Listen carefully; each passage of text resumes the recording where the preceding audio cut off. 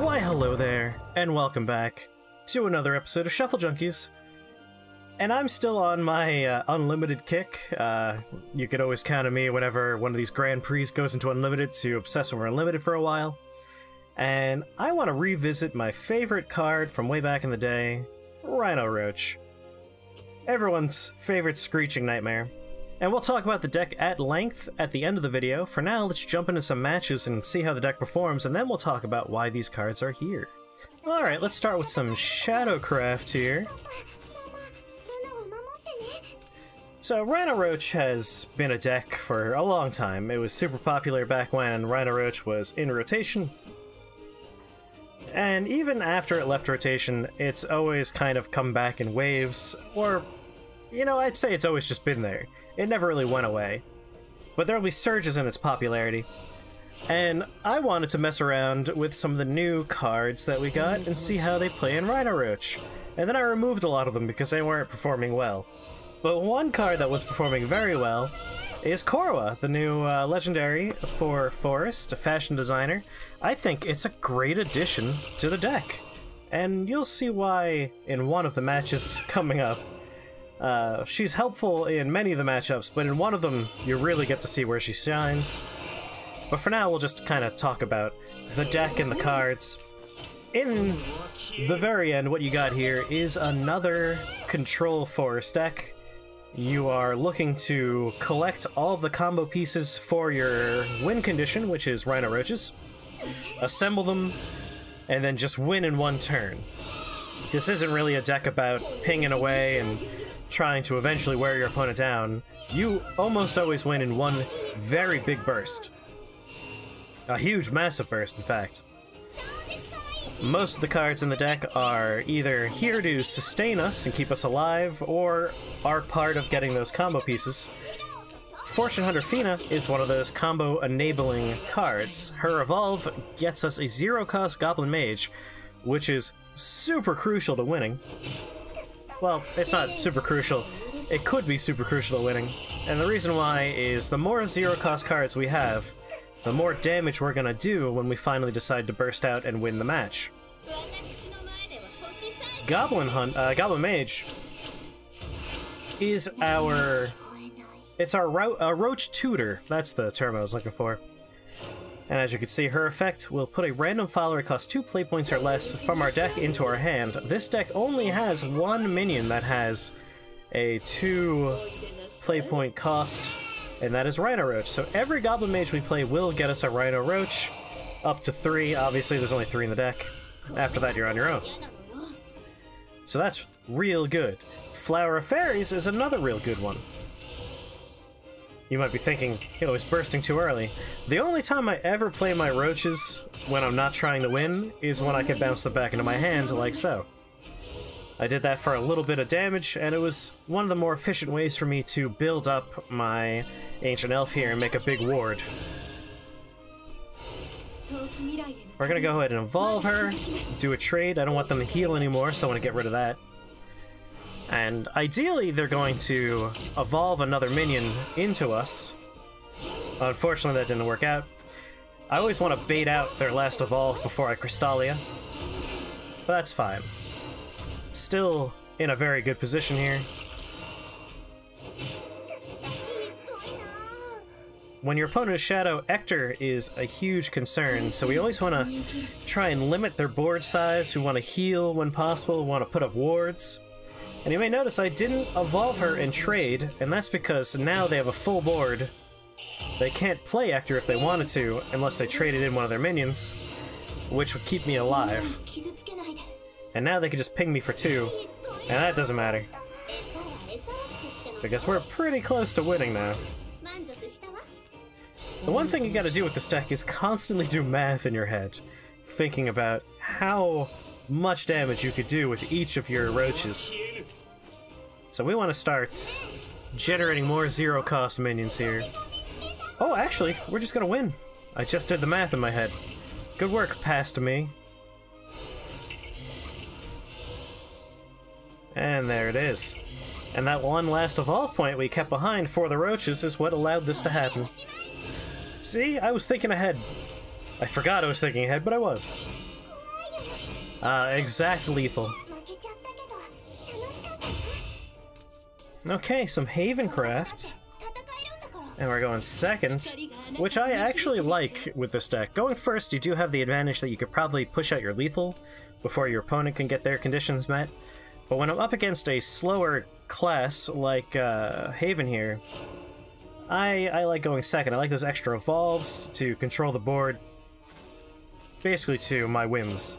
If I'm going against another forest player, I would really like to go first, because that will mean my roaches can go off and kill them before they can get their roaches off. Go ahead and get rid of that Happy Pig. Seeing Happy Pig makes me think that their next turn they're going to play Elana's Prayer. There it is, Elana's Prayer. So we are going to have a tough fight. Elana's Prayer is probably the next deck I'm going to look at because I'm having fun revisiting a lot of my old decks I had in Wilds and updating them. And Elana's Prayer has a lot of new support that you could have a lot of fun with. Elana's Prayer, if you don't know, whenever they heal their leader, they will buff all of their minions. But, oh boy, does that not matter to me. Gonna go ahead play the Wisp so I can return it to my hand.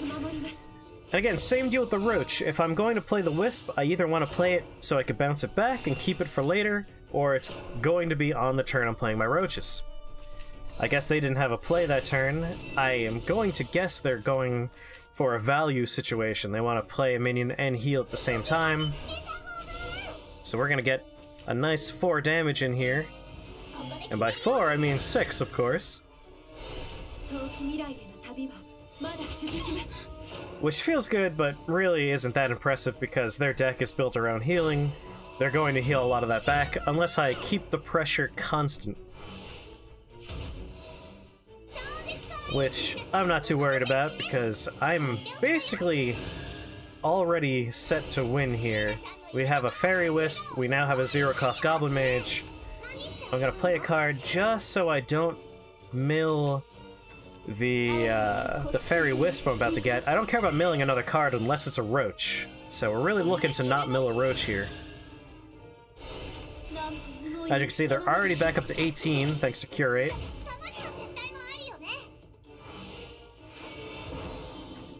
Let me click on it. Alright. So I'm set to win next turn now. Gonna go ahead and throw that away just so I don't mill a roach, because milling a roach would mean I lose. Or, not lose, it would make life much harder. And the longer this match goes on for, the harder it is for me to win. Ah, another fortune hunter. Doesn't matter though, we're just gonna go for the win here. As you can see, didn't have the roach, but playing the Goblin Mage pulls the roach in. So even if you don't have all the parts to your combo, you're usually able to get them in the act of comboing out for your win condition. So we have a 5, a 6, and a 7 attack Roach here. We could evolve for an additional 2 damage, which we'll do here. Giving us a brutal 767 attack. Exact lethal again. That's 20 damage on turn 8. So, what I like about 20 damage on turn 8 is most classes their win condition happens on turn 9 or turn 10, or at least in case of Dragon when they have 10 play points. So we can outpace most of the win conditions that we need to worry about that are burst related, and the ones that are not burst related, the deck is such heavy control that we usually don't need to worry about it. I made sure to keep Woodland Brambles, because when our opponent is Forest Craft, we need to worry about Agro Forest, which is going to have a lot of small minions. This is going to take care of that problem. It might be another Roach deck, which is another thing we'll need to worry about, but we have a decent number of wards in the deck, and we can usually anticipate where they are in their combo based on how many Goblin Mages they played, based on how many play points they have, whether or not they generated Wisps. You can keep a rough tally in your head of the math they might be doing. So they were playing out expecting me not to have another Woodland Brambles, but I do have another Wood of Brambles. which means I can value trade right here just fine. I keep all my minions, they don't. So if this is aggro, we're preventing them from a big ol' buff and everything with uh, Fairy Song, Fairy Harp, whatever the hell that thing's called. I always forget. Elf Song! Ha, huh, there it is. So that would have been way worse had I not cleared the board. Oh, Sylvan Justice. So, another situation where we can super clear. We're gonna go ahead and go face with everybody, and then Airbound Barrage these, letting us play Wood of Brambles again. So when you're up against a class that doesn't have early board clears or situational ways to get rid of all these fairies, we can have a lot of fun and just push a lot of ping damage through with all these fairies. And we have so many more in hand.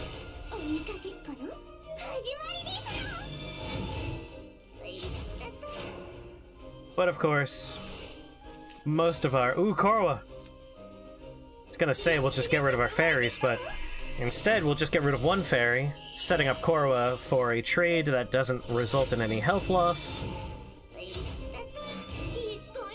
And now, we have a very nice situation at hand. Every turn we're going to get a fill, which is a one play point spell, and those spells will give a minion an additional one point of defense. Why is this a good addition? Well, the reason why I think this is such a goddamn good addition is if you're trying to make a big roach, you need to play cards which is why we like those fairy wisps. When we play those, they get rid of themselves, they banish themselves, they don't clog up the board. If we want to play all three roaches, we can only use two board slots, which usually means we play a zero cost goblin mage, zero cost goblin mage, as many wisps as we can, and then three roaches.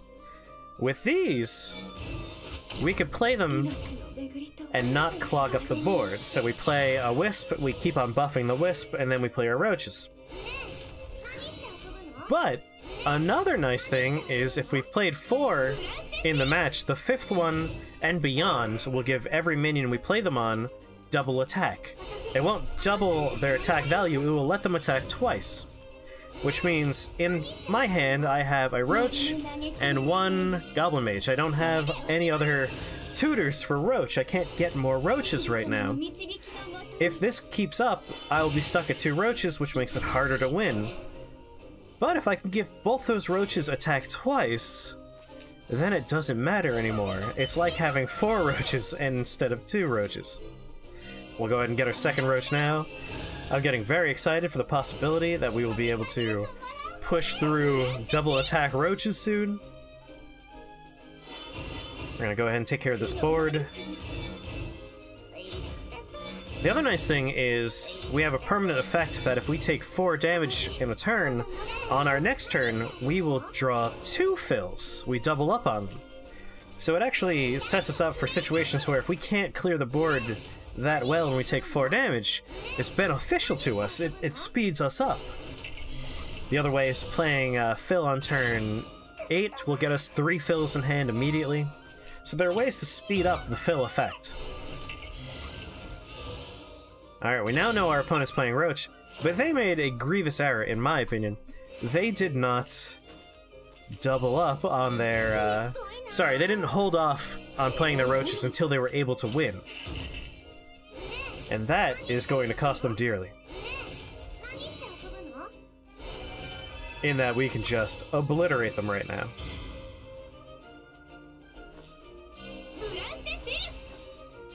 Play both those fills. And as you can see, the fills let us win.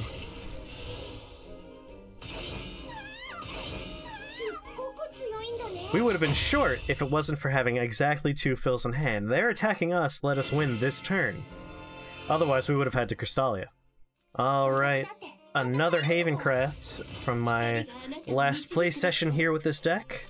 And this is my favorite game, actually, and you'll see why very soon. I did promise you would get to see double attack roaches with the fills effect, and here's where it's gonna happen. So our opening hand, I went and kept Ancient Elf. I want to have a nice big block. I kept Goblin Mage because having at least one of your combo pieces is a nice touch when you're uh, playing a combo deck. Goblin Mage might not actually be a combo piece, but it pulls a combo piece, which makes it better in a lot of ways. Instead of wasting a wasting a slot in your hand the entire game, which is what you do with Roach, you just hold on to it until you're ready to win. This lets us play a card and then pull into the Roach. So I much prefer never keeping a roach. Like, I always send roaches back because I want to get Goblin Mage instead. Alright, we're going to play Wood of Brambles, and then both of our fairies, we're setting ourselves up for as good of an Ancient Elf next turn as possible.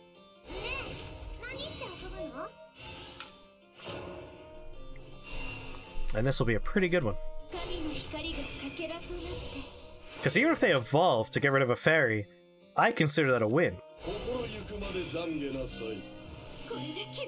Ah, they're gonna get rid of our Wood of Brambles. Not worth it in my opinion. Alright. So screw Ancient Elf, we have Korwa, we wanna definitely get started on that now. So usually your turn five in this uh, deck Fortune Hunter Fina is your number one play on turn five. You want to play it, you want to evolve it.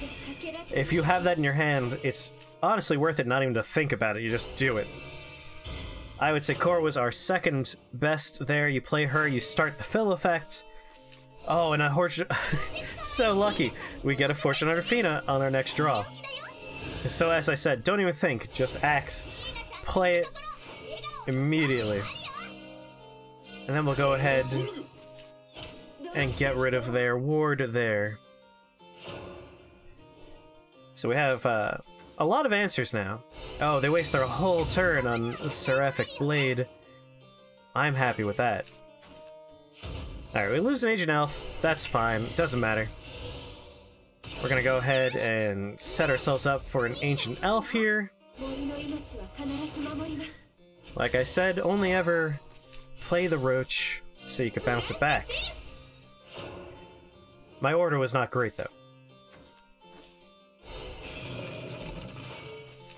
But honestly, this deck, as long as you are paying attention for the big lethal move, is pretty forgiving. Like, that was a dumb move for me, and it still worked out pretty well. Alright, we have options here. We could will the forest, or we could just keep on pumping up and get another wisp. I'm gonna go for the wisp here. So a board clear would be nice, but when we have such a big ward, we're begging them to waste and evolve, which is good for us. And instead, we could use that time to further our big combo moment. Getting that Fairy Wisp is very important. And if they don't kill this, we can bounce it back into our hand and play it again the very next turn. Alright, it looks like they are going to get rid of it. This is a pretty good one, though. Again, we baited out the Evolve, is what we were looking for. So totally worth it still. There we go. If they play anything big and scary, we can Crystalia, which will give us another Evolve point, so it's essentially a 6-8 with Rush when you think of it that way. Or we could play it and merely store an Evolve point for our winning turn, Thank god they did 4 damage to us. That gives us a 4th and 5th fill. So we're gonna go ahead and get that evolve point. And we're not gonna even save it. Like, honestly, we can win very soon. Even if we only have one roach in hand. Again, you're gonna see why I think Korwa's such a good addition to the deck. Is you often find yourself losing when you're playing Rhino Roach when you can't get the number of roaches you need to win.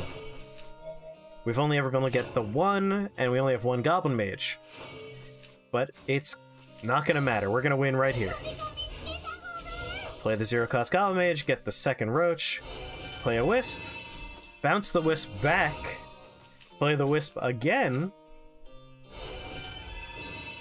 We're already up to four cards. Our Roaches are going to be formidable. So we got a 5 1 Roach.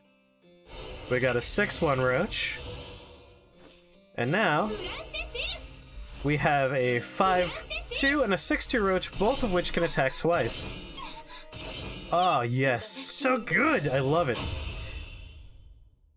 I love it so much. Well, there you have it. That is my Fashionable Roaches deck. So named because we have our Korwa Ravishing Designer, her fashion designer, and our Roaches.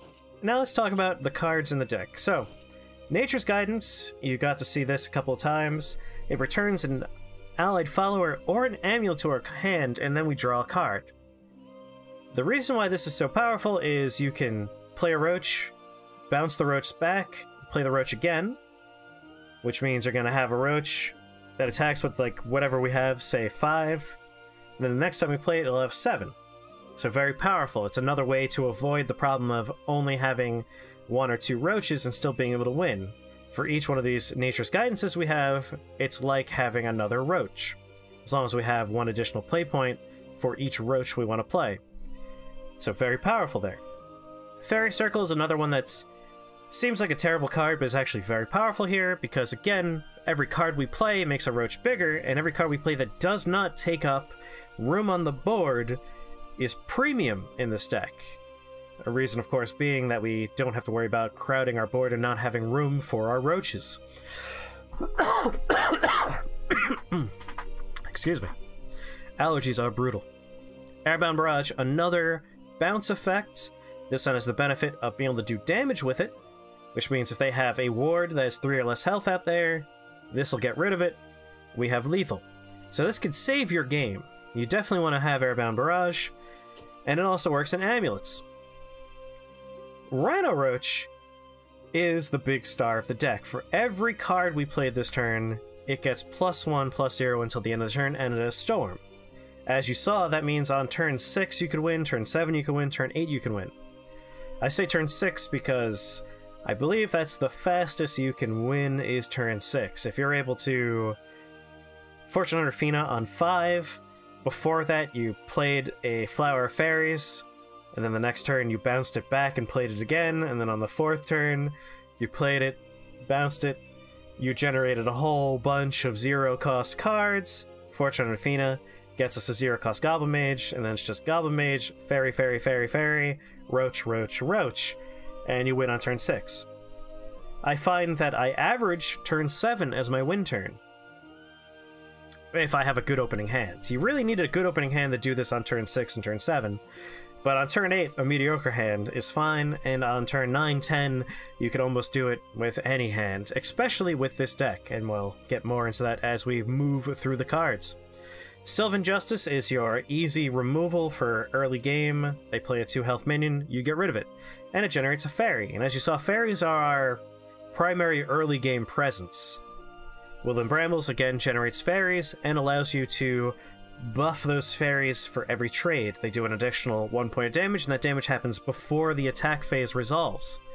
So if they attack into my one attack minion, they have a one health minion, their minion dies before damage is calculated between the two minions.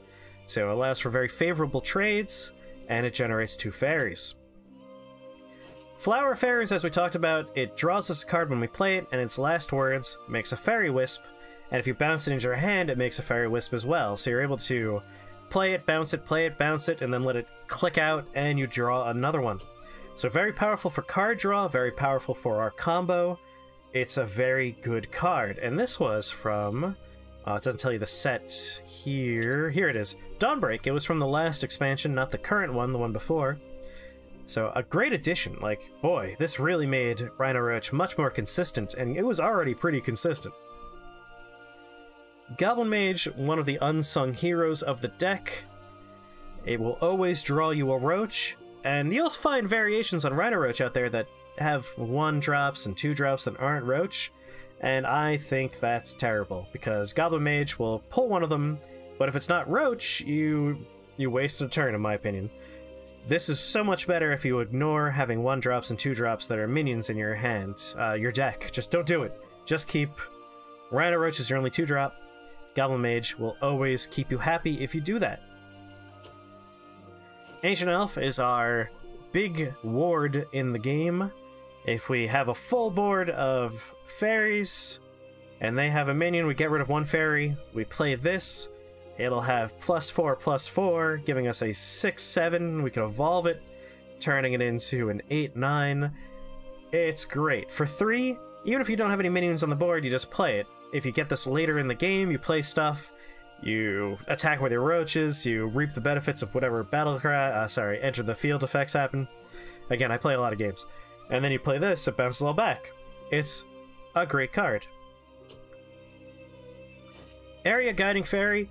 I only have one in the deck. I'm honestly considering putting a second in the deck because when you play this on four, it gets you a Wisp. That's, again, super important to winning the game. Those zero cost cards really make a difference, especially that they exile themselves. Such a powerful effect. And if we played on 9, we fill our hands with fairies, which I've never done and probably will never do, because that's not what we need for this. We need those those wisps. And at 4, it's another bounce target, because we could play it, and then use it to trigger off of our airbound barrage. So yeah, if you have two of these, consider putting a second one in there. Maybe I'll make a Korwa one off, but honestly, we'll talk about that in a second. Fortune Fina, again, super important. You get a zero cost Goblin Mage, and that's another way to buff your good roaches, and of course, they will pull roaches. So if you get three Fortune Finas in your hands, and no Goblin Mages and no roaches, turn 5, turn 6, turn 7, and then turn 8, you win. You just. They generate all your roaches for you. As long as you have a Nature's Guidance to get rid of one of those on the board, so you can play all three of your roaches. And now the new star of the deck is Korwa. So I often find that I can get all three of my roaches, but there are times where I only get two, and it's really hard to do 20 plus damage in a single turn with just two roaches. You need a lot of zero cost minions. Korwa lets us give those minions attack twice property. Oh, excuse me, attack twice properties, which allows you to essentially double up on one roach. It's great. I think it's a fantastic way to add even more consistency to the deck. You would think drawing Korwa instead of something that we let us cycle would be more consistent. Get rid of her, put in more draw. I say no. I say it's tough to keep your hand low enough while you're holding all these combo pieces to begin with. You don't want more draw, because then you're going to mill and you might mill a roach, and that's the worst thing you could do. So I think Korwa's a great way to add consistency without having to worry about draw, without having to worry about clogging the board or your hand. And no one ever sees it coming. It's great. You'll always get wow reacts from your opponent when you have double attack uh, roaches coming at them. So, great addition. If you have a Korwa and you're looking to make a roach deck or just update your old roach deck, totally think about putting Korwa in there. So good. Uh, Will of the Forest, I have two of them in here, and that's, again, just a board clear. You always have a huge hand. This takes full advantage of it. And then, of course, Cassiopeia is essentially Will of the Forest with a 3-3 body attached, which is good, because problem with Will of the Forest is it'll clear the board, but it doesn't give you any tempo. You're not putting anything out there. It's pure value and nothing else. Cassiopeia's value with a little bit of tempo added in with that 3-3 body. It's pretty handy in a lot of ways. And last but certainly not least is Crystallia Aaron. So Crystallia is here in the event that you can't win on turn 6 and you need to heal. Playing her on 6 to 7 gives you a ward and heals you, and then on 8, you can play her, get an evolution point back if you need to trade to stay alive. She's a huge body, a 6-8 at that point. Or you just hold on to the evolution point, because if this is turn 8, you could win on turn 9. I mean, come on, it's it's Rhino Roach. She just gives you that extra 2 damage for your Roach so you could evolve it left or... and then you win. It's great. A good addition to the deck. And that is Fashionable Roaches. That's what every card does, it's why it's here. I think I have a pretty good goddamn Roach deck here. But of course, I would like to know what you think. Do you have additions that you think would be good for this? Should I get rid of something, replace it with something else? What's your Roach deck look like? And is it just as good? Is it better? Let me know. Let's talk about these roaches. Anyway, I hope you had fun. I hope you give this deck a try. I think it's a lot of fun. The deck is in the description as always, so if you want to give it a try, check that link out in the description. You'll get the deck code, you can put it together. Alright. And uh, again, I'll probably do... I'll probably do Elana Haven as the next deck, because I'm really having fun in Unlimited, and I'm really having fun updating my old decks with these new cards. There's a lot of fun synergies out here. Anyway, bye.